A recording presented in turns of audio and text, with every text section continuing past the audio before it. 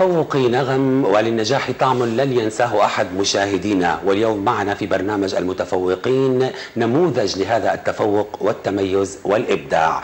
يسرنا مشاهدينا أن نرحب بطالبتنا المتفوقة الحائزة على الدرجة الأولى في شهادة التعليم الأساسي بمجموع وقدره 3100 الطالبة بروج الحمود.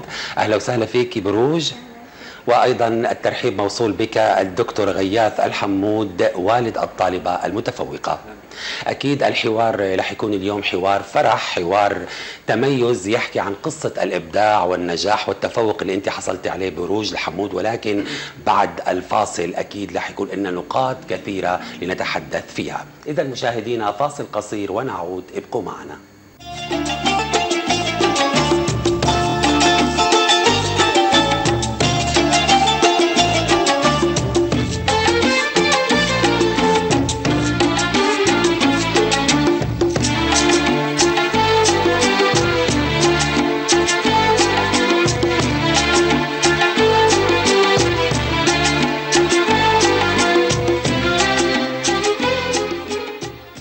بعد الفاصل عدنا مشاهدينا ومباشرة نعود لطالبتنا المتفوقة بروج.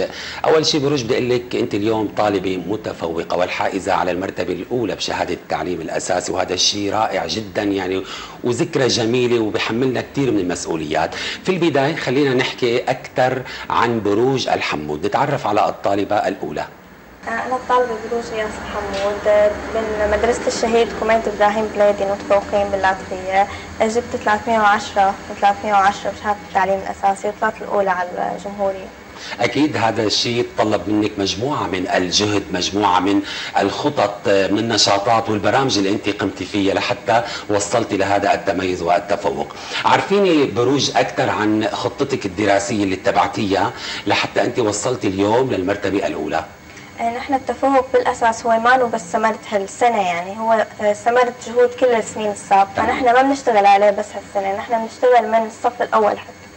إنه نحن بنأسس حالنا ودائما يعني مو إنه نكون صف انتقالي وخلص ما بنهتم فيه. تماما. لا بكل الصفوف بدنا نهتم ونحن بدنا نشتغل على حالنا مشان نوصل لهدفنا.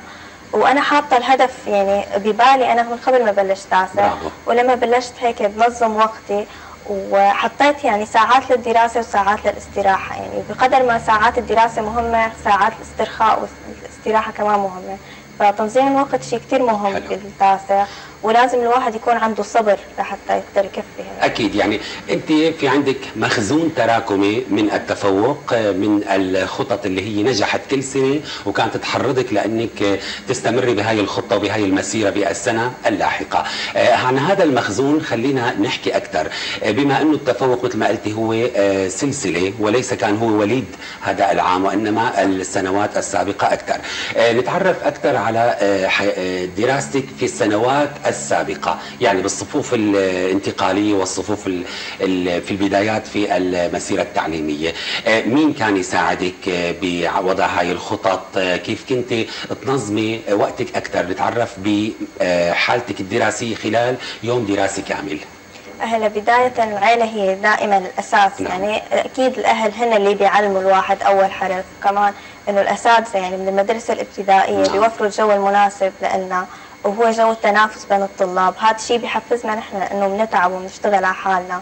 يعني مشان نحن نسبقهم للطلاب. تمام. آه. ونحن كفينا على نفس المستوى. يعني خلص ما قلنا إنه وصلنا للقمة خلص ما عاد بنكفي. لا بالعكس الوصول للقمة هو سهل بس إنه نحافظ على نفس المستوى هذا شيء صعب. تمام. فأنا قدرت احافظ على هالمستوى كل السنين وأهلي هن اللي كانوا يعني داعم لإلي الأكبر. وبعدين لما قدمت على سبر المتفوقين مشان ادخل على المدرسة بالسابع طلعت الثامنة على السبر وهي المدرسة يعني طالما جمعت كل المتفوقين هذا الشيء خلق روح تنافس بيناتنا أكثر. يعني إذا الواحد المتفوق كان بمدرسة برا رح دائما يطلع الأول على المدرسة. تماما. لأنه رح يحس خلص أنا طلعت الأول ما عاد بدي أشتغل أكثر من هيك. بس لما بينجمع مع الطلاب المتفوقين اللي نفس قدراته أحس إنه لازم يبذل جهد أكثر لحتى يكون منافس لهم تماما. بما إنك كنت محاطة بمجموعة أو كوكبه من المتفوقين إيه. آه، أكيد هذا الشيء مثل ما تفضلتي خلق منافسة قوية عندك وشعور بالتحدي. ولكن كطبيعة بشرية إنسانية نحن بنعرف بروج إنه الإنسان أحيانا بتصيبه حالة أحباط حالة يأس حالة خوف تردد شوية مشاعر سلبية نتيجة ظروف وضغوطات معينة ممكن يعيشها. لأي سبب كان. آه، أنت عشتي هاي الحالة اجيتك هاي المشاعر خلقت لك تحديات معينة. يعني حابب أعرف كيف كنت تتجاوزي هاي المشاعر؟ لمين كنت تلجئي؟ يعني كيف كنت تضلي محافظة أنت على آه، حماستك للدراسة على تفوقك؟ هلا آه، نحن خاصة بوقت الحجر يعني وقت انقطعت المدارس والمعاهد وبأزمة كورونا وبهالظروف يعني. أكيد تعبت نفسياتنا وملينا من الدراسة بس رغم هيك الأساتذة ما قطعونا أبدا يعني ضلوا على تواصل معنا على الواتس أو على الفيس هيك. ويحكوا معنا هن كانوا دائما بيشجعونا إنه ما تسأموا أبدا وحتى لو الوزارة هسه ما قررت حذف ما تسمعوا للإشاعات تمام. يعني كانوا يشجعونا إنه أنتم درسوا كل شيء يعني ما بتعرفوا إنه ممكن ينحذف ممكن لا. فإن كانوا يعني بيشجعونا دائما بهالمرحلة ما قطعونا أبدا. والأهل هن بالبيت طبعاً. يعني, يعني نحن دائما لما بنمل أو بنحس بضغط وإحباط دائما بنروح على الأهل. الأهل هن اللي بيشجعوا. تماما. طيب أنا رح انتقل لك دكتور غياث. قبل ما أعرف دورك الداعم لتفوق بروج حابب نتعرف عليك أكثر أنا الدكتور غياث الحمود أخصائي جراحة. نحن عائلة من الرقة. آه، بروج كانت ظاهرة من ظواهر البيت إضافة إلى أخوتها. نعم. هي علامات النبوغ عليها ظهرت من عمر السنتين. أنا لاحظت عليها سرعة في التطور الروحي الحركي طبيا. وكان في عندها علامات لارتفاع مستوى ال IQ. راعيناها أنا ووالدتها والدتها طبيبة داخلية دكتورة ابتسام مزيد. آه، تلقت آه، تربية وتعليم. وتجاوبت كانت منتجة. يعني بعمر السنتين تعلمت النطق تعلمت ما شاء الله. حفظ الشعر تعلمت الحساب الذهني يعني لما دخلت عمر الأربع سنوات صف أول كانت على أساس طالبه مستمع كانت واسطتها هي النبوغ يعني تمام. نبوغها آه، نبوغها إنها كانت دخلت المدرسة تجيد القراءة والكتابة الكتابه بخط جميل. وهي حالة مميزة واستثنائية يعني. آه، تماما. آه، وتجيدها عربي إنجليزي. وبعض الكلمات فرنسي كمان.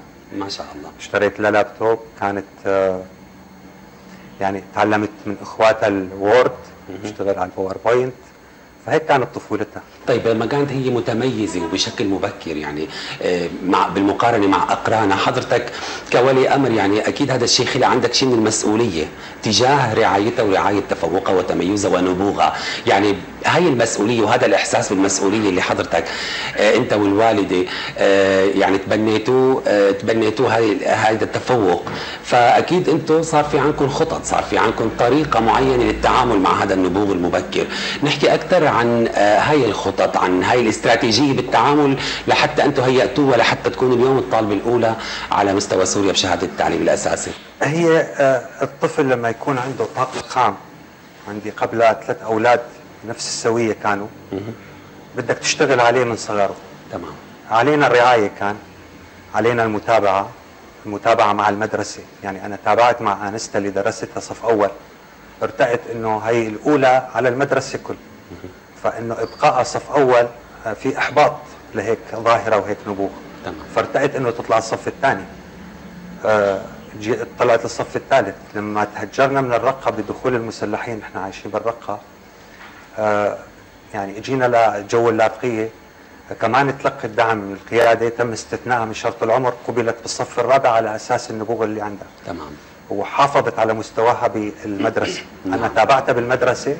أثبتت حضور أثبتت وجود. آه، تلقينا كمان آه، حفاوي واستقبال وترحيب آه، هائل في تمام. محافظة اللاذقية كأسرة. آه، كانت محاطة بالرعاية من الكادر التعليمي والتدريسي. نعم. وأنا هون بدي اوقف شوي أقف انحناء تقدير امتنان للكادر التدريسي والإداري في محافظة اللاذقيه لل- للشيء شفناه من رعاية لأولادي وأسرتي. وخاصة بروج. تماما. معناتها نحن فينا نقول بروج حالة استثنائية أنت اليوم. أصغر طالبة بالصف التاسع الأساسي على مستوى سوريا وطالبة متميزة ومتفوقة وحائزة على المركز الأول. لما أنت آه، سبقتي زميلاتك آه، بالعمر وبالصف الدراسي أكيد هذا الشيء خلق عندك شيء من آه، ربما الحماس ربما الاستمرارية بالتفوق. يعني حسيتي حالك أنت متميزة وبشيء من الاختلاف. طبعا هذا الشيء الاختلاف الإيجابي اللي إحنا بنقصده آه، كيف انت كنت تتعاملي مع آه، زميلاتك بالصف اللي هن أكبر منك بسنتين؟ كان في شيء فرق هيك نفس حاجز نفسي مثلا أو فرق بالتعامل كونه هن أكبر منك يعني بالمقارنة مع آه، زميلاتك اللي هن من عمرك؟ هلا هذا الاختلاف اللي عم نحكي عنه إنه بالعمر وهي هذا الشيء بيخلق مسؤولية يعني عندي أنا. أنت حسيتي بهاي المسؤولية وكنتي حسيت. قدها. تمام. كنت خدة يعني إنه أنا حاولت يعني قدر الإمكان إنه أتأقلم مع ظرفي ويعني كنت آه، داخلة بالجو منيح. إنه كنت يعني أنا صحيح بعمري الزمني يعني صغير بس أنا عمري العقلي كان أكبر من هيك ما شاء آه، الله فإنه قدرت اندمج مع الجو وقدرت اكون بعمرهم تقريبا بسويتهم حتى بهالسبب. تمام. طيب بروج طالبنا اليوم بأي مرحلة كان بأي صف كان؟ آه، بنعرف نحن إنه منهاجنا في مزيج من المواد الدراسية اللي هي بتاخذ كل الجوانب العلمية والأدبية. وكثير من الطلاب بيكون في عندها ميول لجوانب علمية أو جوانب أدبية يعني ميول لمواد معينة. بالمقارنة بيكون في خوف من مواد ثانية احكي لي أنت عن ميولك كيف كانت للمواد؟ سواء كان العلميه ولا الأدبية يعني وين كنت تلاقي حالك أكثر؟ أنا كنت لاقي حالي أكثر بالمواد العلمية لأنه هي يعني مجالها واسع كثير المواد العلمية. إنه فيها يعني تفكير وفيها خيال شوي. أما الأدبي يعني بحس إنه في حفظ أنا ما كثير بحبه. إنه العلمي يعني بحس بيشغل مخي بي يعني بيفيد ذكائي فيه. أما الأدبي لا بحسه كثير مقيد و... تمام. اذا اليوم أنت آه، بيوم النتيجة مثلا آه، نتخيل سوا لحظة السعادة لحظة الفرح والتميز. لما أنت تلقيتي الخبر إنك أنت الطالبة الأولى 3100 احكي لنا عن مشاعرك وخلينا هيك نعيش معك هاي الذكرى وننبسط أكثر معك. كيف تلقيتي الخبر؟ كيف كانت ردة فعلك؟ مين اللي آه، قلتي له أول شيء شكرا؟ يعني حطينا بهذا الجو أكثر بروج. هي اللحظة عن جد ما ما بتنوصف من السعادة أبدا. يعني أنا ما كنت متخيلة بيوم إنه الحلم اللي كنت أحلم فيه من سنين إنه يتحقق. آه، فإنه أنا كثير كنت مبسوطة أول شيء لأنه الحلم اللي آه، حطيته ببالي وهدفي من البداية وقدرت أوصل له. حلو. وكمان كنت فخورة إني أنا ما كنت عند حسن ظن أهلي وعند ثقة أساتذتي كمان. إنه أنا ما خيبت ابلهم ولا ضيعت تعبهم ابدا. تمام. مين اللي بارك لك أول شيء احكي لنا مين كيف صارت الاتصالات؟ مين اللي اجى لعندك على البيت؟ يعني فعلا هي ذكرى بتستحق إنه نوقف آه، عندها طول العمر. إيه صح. آه، أول شيء يعني العائلة جو العائلة هيك باركولي وكمان اجوا زيارات يعني الأقارب وكذا. وكمان اتصالات كانت من الأساتذة يعني. هن حلو. كانوا من البداية بيخلوني إنه انت بدك تطلعي الأولى على سوريا. يعني هي ثقتهم كانت كثير بتحفزني كثير بتحملني مسؤولية. فعلاً. وهن كانوا واثقين فيني يعني والحمد لله كنت عند حسن ثقتهم يعني. تمام. آه، فهن أول أول اللي اتصلوا فيني وباركوا لي يعني. كانوا متوقعين ما كانوا مستغربين مني صحيح، ابدا. صحيح. وكمان يعني ال- الرئاسة كمان اتصلت فينا هي كانت من أول المهنئين. يعني ما مرق يوم إلا كانوا متصلين فينا نحن كلنا الأوائل. أكيد وبتستاهل. أكيد. هاي كانت آه، دكتور مشاعر الطالبه المتفوقة ولكن عن مشاعر الأب. ب- بفخر وسعادة وأتشرف. يعني اتصال والتهنئة من مقام الرئاسة يعني خلى بروج بتطير بدون أجنحة هذا بحد ذاته أعظم تكريم يعني. إيه حقيقة. نحن آه، وقفنا أمام بحر من الكرم والنبل. لا بحر يعني بحر لا ضفة له. تمام. يعني ما فعلا.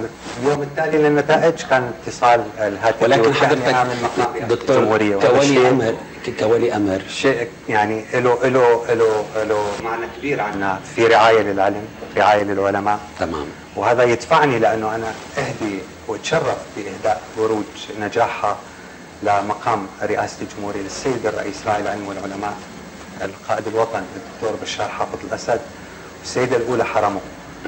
آه، عاجزين عن يعني الرد الجميل وهذا ال- ال- الكرم بالمتابعة لهالطاقات وخامات البلد إلا أنه نحافظ على هذا المستوى ونتابع برعاية أشجارنا وورودنا اللي زرعناها. تمام. ونقل رسالة المحبة والعلم والأخلاق للبلد وقائد البلد وللشعب عبر آه، بنتي بروج. أكيد وبروج وامثالك أنت الأمل لأن لحتى نكون أمام جيل قادر على إعادة بناء البلد في المرحلة القادمة، رح نرجع شوي لجو الدراسة وجو المنافسة بما إنك كنت محاطة بمنافسين أقوياء جدا.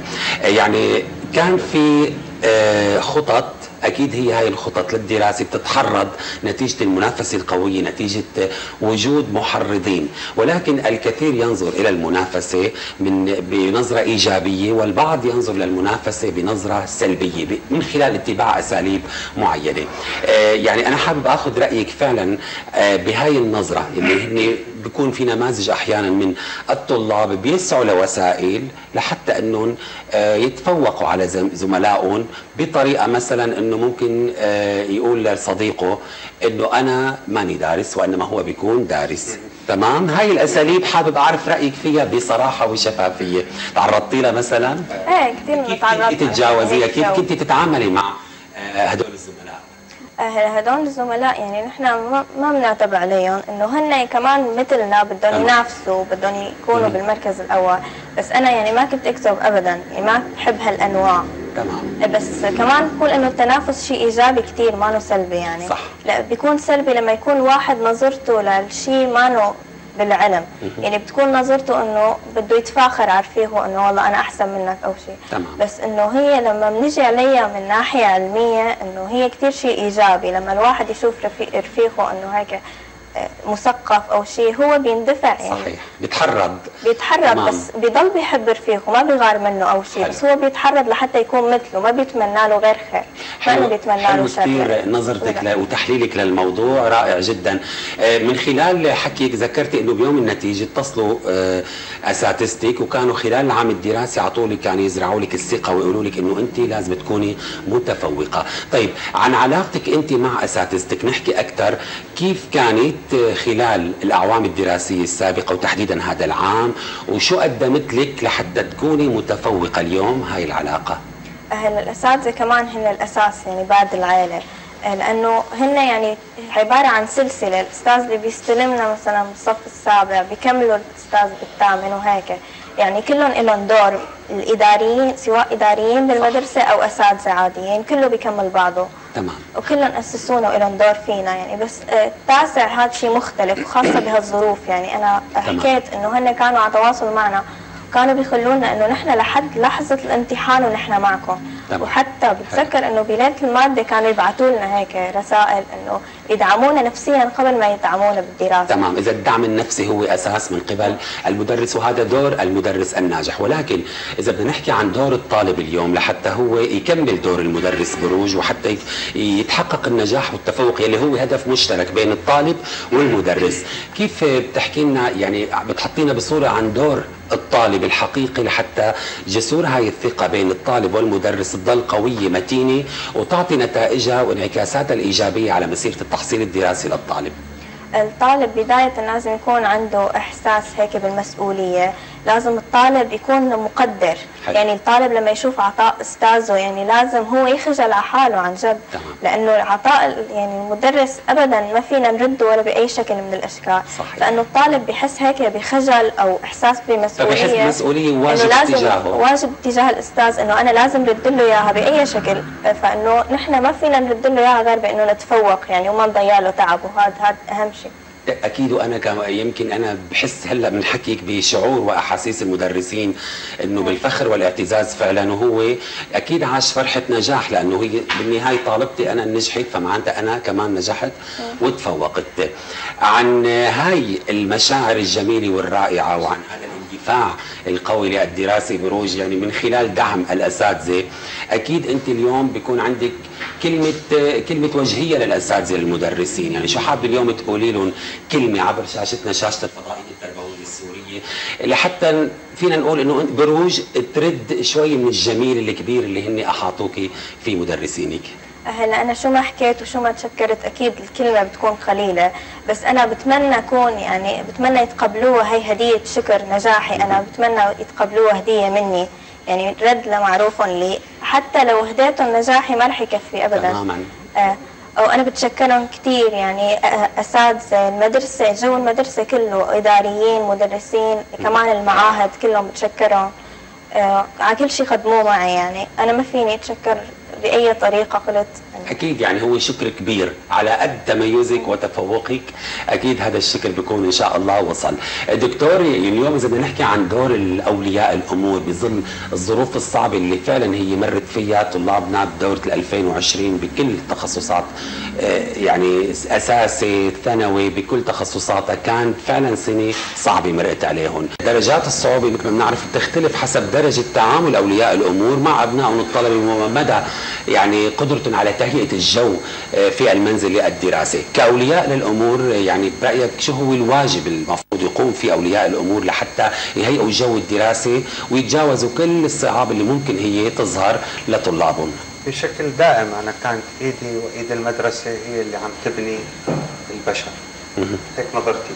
يعني ما دمرت الحرب والإرهاب من حجر نحن بنبني بشر أكيد. إيدي وإيد المدرسة سوا. الظروف الصعبة لما إجت كورونا أو غيره آه، واجهناها. أتحنا لطلابنا أبنائي أنا أحكي عن بيتي. فتحت الجو المناسب لهم دراسيا دعمهم النفسي هواياتهم. إتاحة يعني مشان ما يشعروا بالملل لأنه صار في إطالة إطالة بالفترة تمام. للفحص. يعني التكاتف العائله أنا والأم. تمام.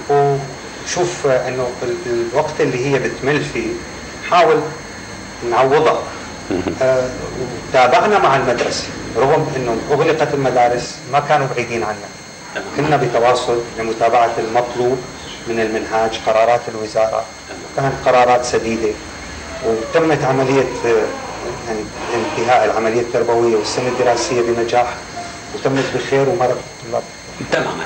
اليوم بروج انت عم تعيشي حالة تميز حالة إبداع حالة تفوق بنفس الوقت. يعني ما شاء الله كل الصفات الحلوة اجتمعت فيك بهاي السنة الدراسية المميزة اللي هي أعطيتك ذكرى جميلة ورائعة أكيد ما رح تنسيها عمرك كله وأنت عم تعيشي تجربة التفوق والتميز بالوقت الحالي. إذا بدي أطلب منك آه، تعرفينا التفوق من خلال مشاعرك اللي عم تعيشيها. كيف بتعرفي التفوق اليوم والتميز بنفس الوقت؟ التفوق والتميز هو مسؤولية يعني مجرد مسؤولية بحس إنه الواحد بس يحط هيك هدف بباله هذا الشيء بيخلق عنده المسؤولية. المسؤولية هي أساس للتفوق يعني وكمان متابعة.